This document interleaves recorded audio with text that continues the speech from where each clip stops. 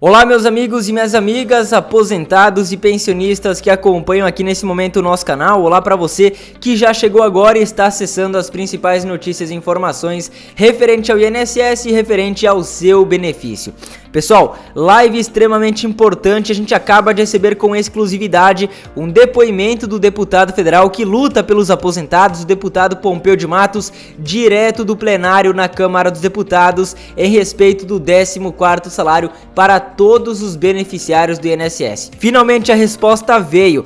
14º salário vai ser pago ou não vai ser pago? Os aposentados vão receber em 2022 ou não? E finalmente o principal, o governo aprova ou não aprova o projeto mais importante para os aposentados do INSS? Se você tem essas perguntas, todas as respostas você vai ter agora na live de hoje, direto de Brasília e na tela com vocês, deputado federal Pompeu de Matos.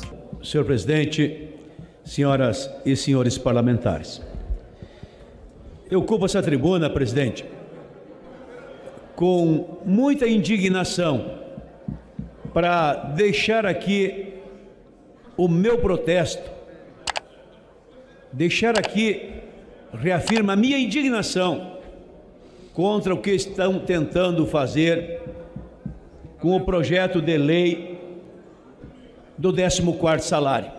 Projeto da minha autoria, lá do ano ainda de 2020, que viemos trabalhando, lutando para sua aprovação aqui nessa casa de maneira hercúlea, com o esforço de muitos parlamentares, de todas as matizes, de todas as cores, de todos os partidos. Desde 2020, nós tivemos empenhado nessa luta e tivemos expressivas vitórias já aqui na casa na Comissão de Seguridade Social aprovado por unanimidade. O que quer dizer que o projeto já não é mais só do deputado Pompeu de Matos, é da comissão, é de todos os deputados que disseram sim ao projeto na Seguridade Social. Aprovamos o projeto por unanimidade depois de muitas negociações na Comissão de Finanças e Tributação.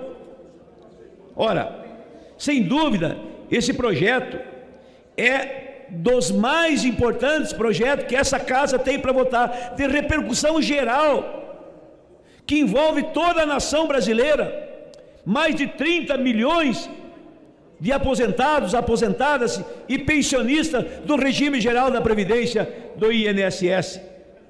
E é exatamente por esse motivo que muitos parlamentares desta casa, tendo consciência da importância, da abrangência do projeto, estão com ele estão juntos, apoiam, votam, defendem, vêm na tribuna.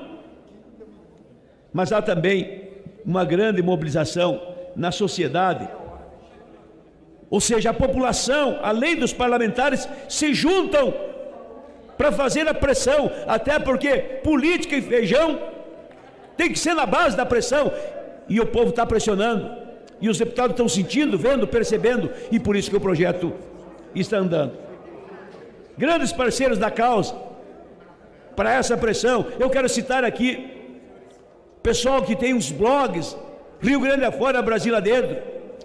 O Felipe Brito, grande Felipe Brito, um grande apoiador. O João da Financeira, lá no Rio Grande do Sul. O nosso Milton, Milton Antunes, doutor Sandro Lúcio. Ou seja, guerreiros, verdadeiros guerreiros que estão ali ao lado do aposentado, dia a dia, não perdendo, não perdendo a fé, não perdendo a esperança, não abrindo mão da sua luta. E a verdade, mas a verdade é que o projeto hoje vive um drama. Seguindo sua tramitação normal, o projeto já está para ser votado na CCJ, com o nosso honrado deputado Ricardo Silva de São Paulo, com o parecer favorável. Bastava votar ali, onde é terminativo o projeto, vai para o Senado, Senado vota, vai à sanção presidencial. Mas infelizmente, né? infelizmente, em que pese houvesse um requerimento de extra pauta para dar celeridade à votação do projeto, ou seja, tudo dentro da regra, dentro da lei, dentro do rito, dentro da normalidade. Infelizmente, seguidores do governo entrarem em campo e numa manobra, uma manobra rasteira, mudar o rumo e colocar obstáculo para a votação desse projeto. Não para aprovação, para votação, porque eles não querem que seja votado, porque se votado, sabe que será aprovado, os deputados vão votar a favor. E esse momento, então, é um momento crítico. Mas eu, como defensor, jamais vou frouxar o garrão. Um boi para não entrar na briga, uma boiada para não sair. Sou brasileiro, sou gaúcho e não desisto. Persisto, insisto, teimo se necessário, porque a causa é justa, é nobre, é boa, é decente, é coerente, é a favor da nossa gente, do nosso povo. A manobra do governo veio a partir de um requerimento do Partido Novo, gravem bem, do Partido Novo, que a mim me parece a coisa mais velha que tem nessa casa, porque o novo se levanta contra os idosos, contra os aposentados, contra os pensionistas. E aí, exige que o PL passe pela comissão do idoso, pela comissão do trabalho e pela comissão de finanças. Ou seja, regimentalmente será necessário que seja criada então uma comissão especial e aí vão empurrar com a barriga, colocar o projeto na geladeira, porque eles não têm outra maneira senão colocar na geladeira, porque se colocar em votação, o parlamento vota a favor. Não tem nenhum deputado aqui que tenha se levantado contra o projeto, a não ser o novo e o governo, e o novo servindo ao governo em detrimento dos aposentados, que para agradar os netos não precisa matar os avós. Agora os netos, os netos, os novos aí estão tentando matar os avós.